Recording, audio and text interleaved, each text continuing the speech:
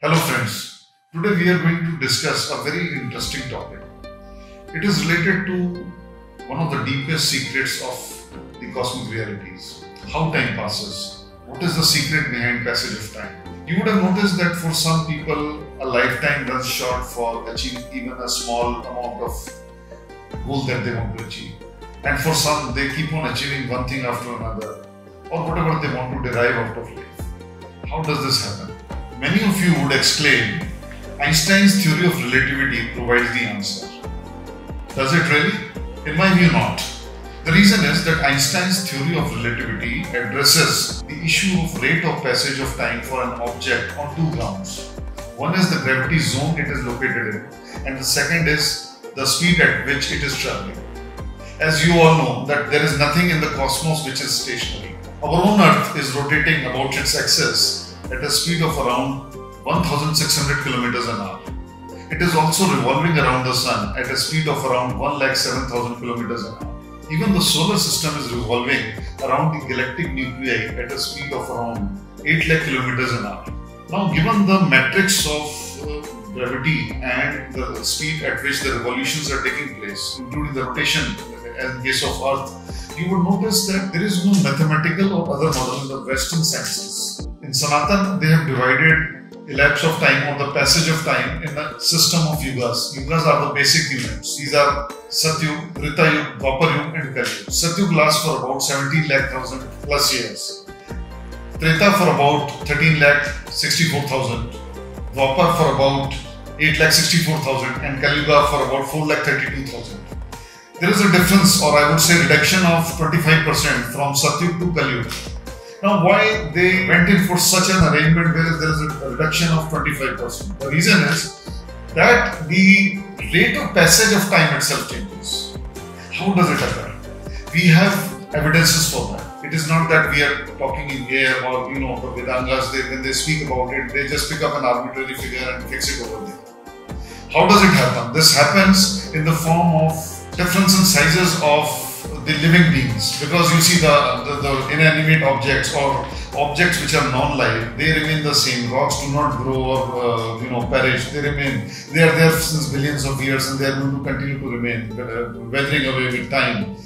Very gradually. Whereas in case of living beings the we can see a definite cycle of birth life growth and death. Reproduction in between.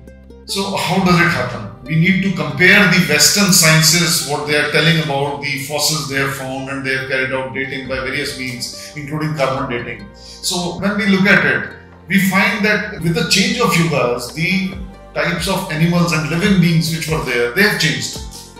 For example, I would say in Valmiki Ramayana, in Sundar Sundarkand, it is said that when Hanumanji was entering uh, Lanka, he observed Lanka being guarded by four tusked elephants of mammoth sizes.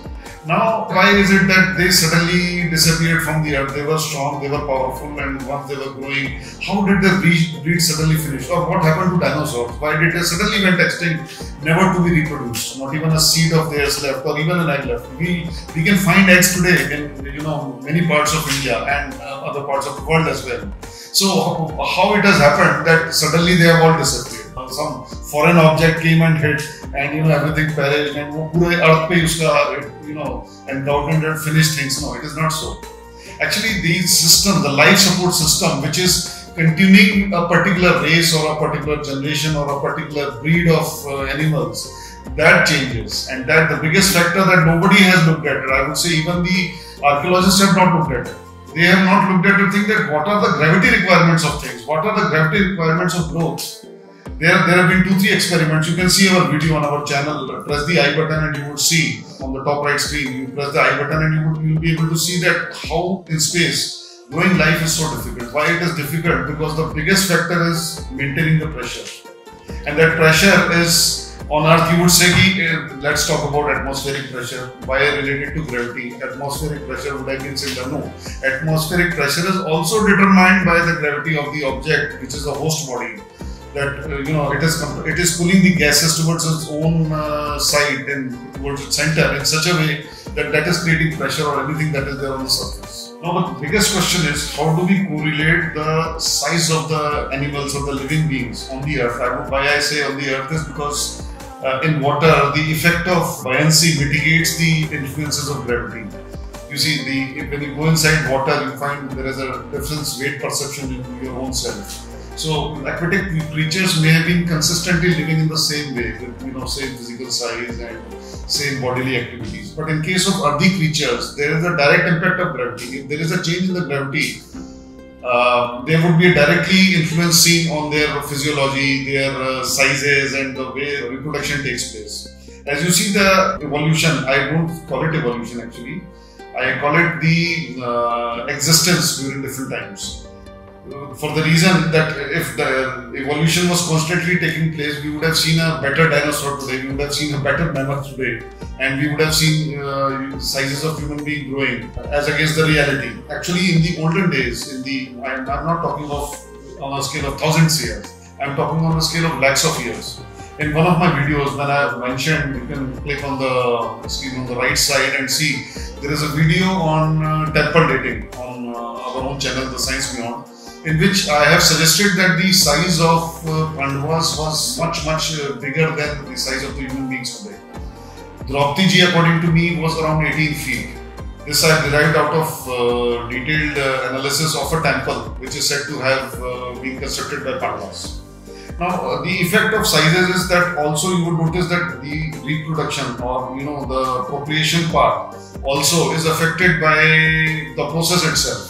Pele, there used to be heavy animals and there used to be big sized animals. So the dinosaur used to lay eggs. They never used to have, uh, you know, babies being born out of home, as in case of water. Because baby will not take the impact of gravity. It will not be able to survive. And even before that, during the gestation period or when the baby would have been in the womb, so there is a requirement of baby to breathe and continue to grow, exchange gases with the atmosphere. So dinosaur, as we have been finding many of them in uh, Lameta formations in, in the Narmada Valley in India. So uh, they, it used to have a particular structure that the exchange of gases could take place from its uh, chamber walls, and yet the chamber walls could sustain the force of gravity.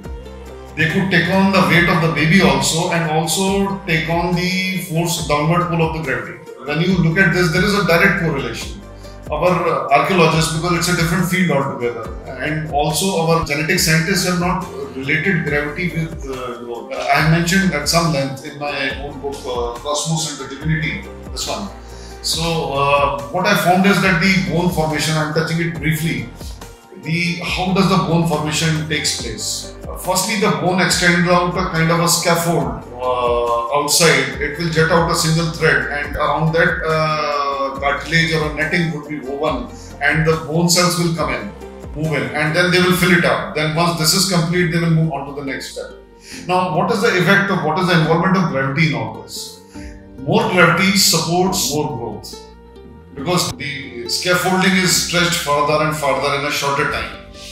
So that is the way the growth, rate of growth is faster. And secondly, as we know from the Einstein theory of relativity, the rate of passage of time also slows down. So these are two factors which are very very important. So this can lead us to conclude that in case the in the yogic system, if the rate of passage of time was changing, that is how they were affecting the system of yugas. They were saying now there is a marked change in the rate of passage of time due to alteration in the gravitational arrangement or rate of uh, spinning of the earth or uh, you know some other planet being a little bit closer or some passing by object which is you know uh, nearing us crossing us. Or even the the biggest of all is that the solar system move, movement around the galactic nuclei because galactic nuclei is of around 30 lakh stars as big as the sun the area is in few light years the spread is in light years so you can imagine how big it is and it is not a single point at no there is a the galactic nuclei is a massive black hole. But around that, there are so many stars and so many solar systems, so many planets, and you know, huge masses, gigantic masses. So, all this uh, tells us that when the solar system is moving around this larger system of galaxy, the rate of passage of time, because we all are experiencing more or less gravity, uh, which is coming through that. When you apply Kepler's laws of motion, motion, you would realize that the speed also varies with if the orbital path is changing its the, the, angular momentum is maintained, the angular rate is maintained. So if we are on a longer axis, on a, a longer orbit, then the rate of motion increases and it retards when the distance is shortened.